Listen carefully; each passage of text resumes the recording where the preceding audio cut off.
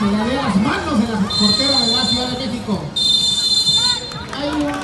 Finaliza el primer tiempo, cambio de cancha, es marcador aquí en el Zócalo de Puebla, 3 a 1 a favor de la Ciudad de México.